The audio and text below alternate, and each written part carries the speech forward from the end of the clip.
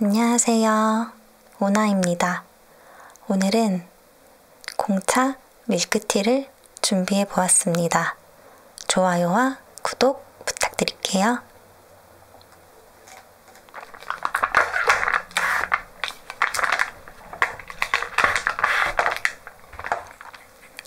블랙 밀크티, 타로 밀크티,